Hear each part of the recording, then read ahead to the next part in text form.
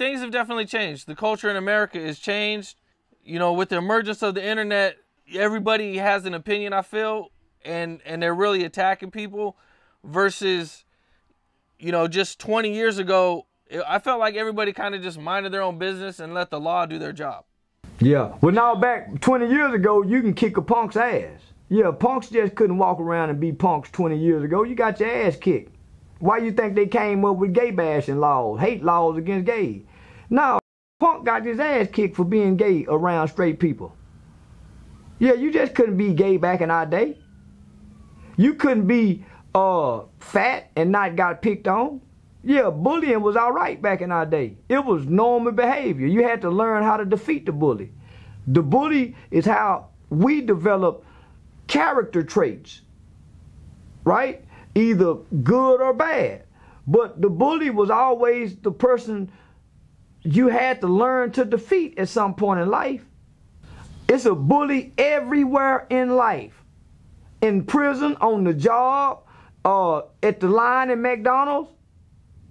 So, man, we learned how to conflict resolute. We knew how to interact with humans. This generation don't know how to interact with humans. That's why everybody is social networking online and everybody feels so comfortable to type their opinions and share their opinions to strange people that they'll never meet. And they would do this for hours. And it would carry over to the next day. And it'll carry over to the next day. And next thing you know, you and this person have developed a silent hate for each other. And y'all don't even know each other. All from a difference of opinions and ideologies.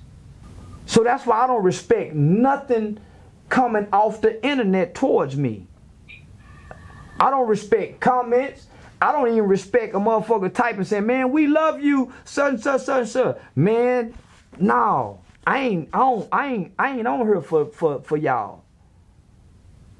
I got on the internet because they say they pay. And I figured, man, I done got caught up into this matrix, just like every other billion motherfuckers. I'm caught up into this matrix. I can't put this goddamn phone down, man. I'm on this goddamn Facebook social media app 12, 16 hours a goddamn day. Man, I ain't making no money. And I'm arguing with motherfuckers. I'm going, I'm arguing with motherfuckers. Every day I'm finding myself arguing with a motherfucker and I ain't making no money. I start feeling shame logging onto these apps, spending all this time, going out to eat with my kids or at the park with my daughter. I'm looking down at the phone while they playing. I ain't giving my kids no attention. She out on the volleyball court. I'm looking at the phone. She looking up at me, looking to see if I'm looking. And it made me think, nigga, I remember when she was in gymnastics as a little bitty girl. She, daddy, look, daddy, look. Now I'm looking at the phone, neglecting looking at them. They want me to look. So I figured I gotta figure out a way to make some money off this shit if I'm gonna be neglecting my kids for it. So that's why I'm on this motherfucker. I ain't on here for y'all. I figured out how to get some goddamn money off this motherfucker because it was taken away from my life. It was distracting me. I was spending 18 hours on here, man, arguing with motherfuckers, sharing my opinions, sharing their opinion, and we ain't built nothing. Then when I got a back to school supply giveaway, all these motherfuckers with these opinions ain't nowhere around. So now I had to reevaluate what's this shit for. So nigga, I'm on here with a character. I ain't on here with no positive message. If you get the message, you get the message. I'm on here for the character. Views. They pay for views. That's it.